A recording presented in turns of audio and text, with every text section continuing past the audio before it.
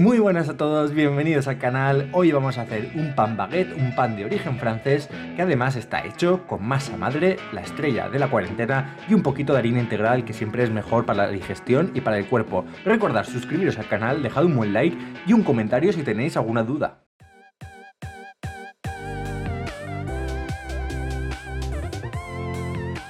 Esta vez vamos a comenzar con la masa madre, la estrella de la noche, que hay que activarla, hay que alimentarla, o sea, hay que refrescarla. Mil formas de decirlo, es el mismo resultado. Nosotros lo hemos hecho también por la noche y lo vamos a hacer un par de horitas antes de hacer pues nuestra receta de pan baguettes. Lo mismo de siempre, le añadimos tanto peso de harina, como tanto peso de agua, como tanto peso de masa madre. Y lo vamos a dejar fermentar, pues una media hora. Nosotros la tenemos así porque hemos hecho trampas y le hemos puesto encima del router. Y como veis, está que se sale.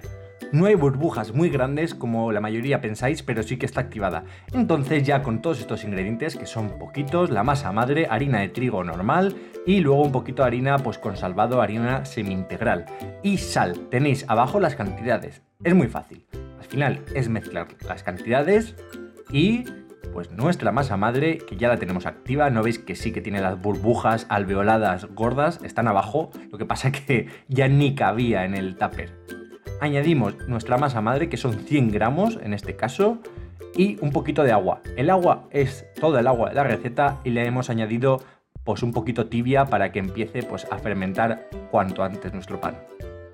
Mezclamos este prefermento líquido de nuestra masa madre que hemos diluido y lo mezclamos pues con todos los ingredientes menos con la sal y con las harinas y cuando ya esté un poquito pues húmedo, como veis se está pegando un poquito las manos, cuando se pueda trabajar, lo metemos en la mesa y seguimos trabajando. No os preocupéis porque las harinas integrales siempre suelen ser más glutinosas, más pegajosas. Ahora que ya le hemos trabajado un poquito, llevamos más o menos unos 15 minutos trabajándola, ya se ha mezclado bien el fermento, nuestra masa madre, con las dos harinas, así que estupendo.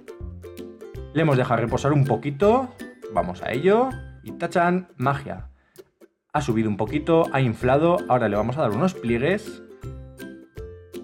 Podéis ver, porque al final lo que nos interesa es crear una red de gluten para que el aire que genere nuestra fermentación se quede retenido en el interior de nuestra masa y tengamos un pan más alveolado, más rico.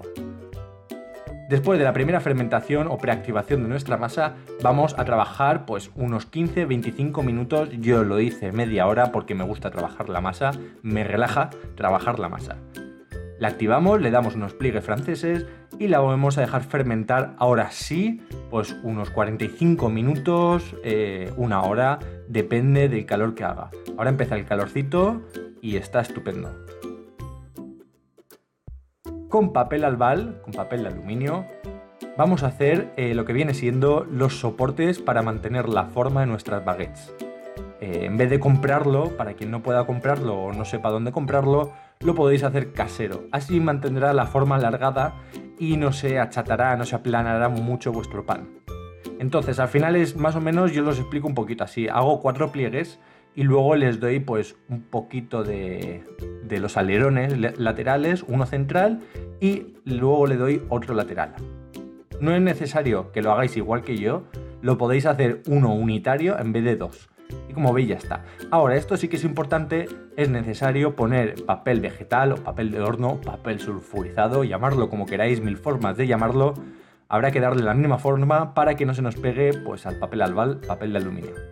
Una vez que ya está fermentada una hora más o menos nuestra masa, la sacamos del bowl y la ponemos en una mesa un poquito enharinada para bolearla, darle unos pliegues y intentamos no romper la burbuja que ya hay hecha, aunque luego va una segunda fermentación ya cuando hayamos boleado, en este caso alargado, estirado, nuestra masa para hacer pues el pan estilo francés alargado en plan baguette que es lo más normal y común últimamente que se vende.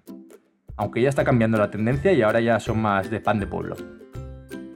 Lo podéis separar en cuatro, yo lo prefiero en dos porque si no se os quedarán unas mini baguettes súper crujientes.